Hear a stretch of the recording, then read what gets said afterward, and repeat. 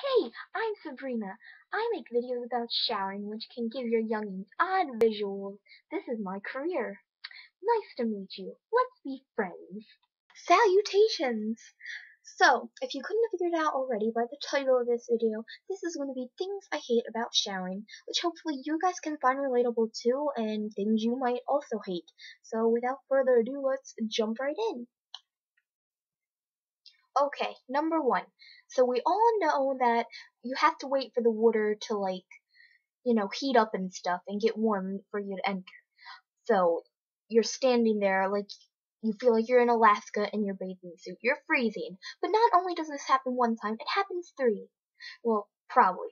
Alright, so it's that, and say you forgot something outside, like a towel or a wash rag. I call it rag, whatever. You have to go back out into the cold, and you can't wait to get back in. And then when you get out, you race for that towel to get wrapped around your robe or whatever, because you know you're about to freeze to death.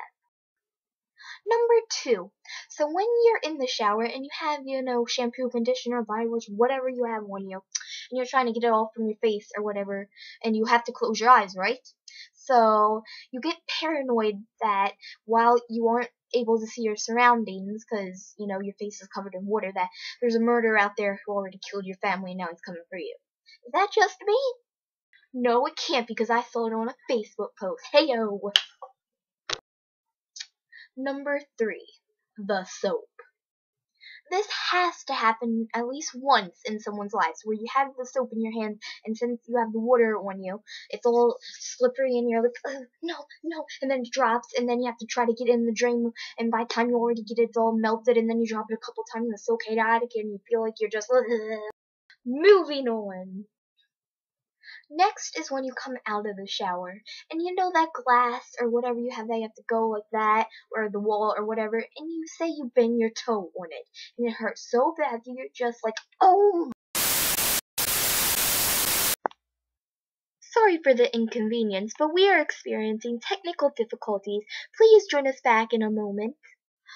And we're back. Okay, so the next one is going to be very visual get your thinking caps on. Okay, so when you have the shampoo and it's running down your face, I um, don't know if I'm the only one who experiences this, but like, do you ever like start to not breathe, like not breathe, but like your face is covered with shampoo, so you're afraid if you breathe, the shampoo will like get in your mouth, and then you're like just trying to figure out a way to breathe, and then you start panicking, and you like finally just start to look over the um shower, like have it run off your face, and like, haha, just me, okay. And last but certainly not least, with showering you have to pay a price.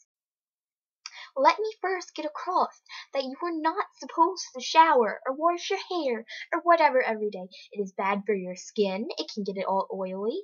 It's bad for your hair because it gets thinner and, you know, all that. You're not supposed to shower every day.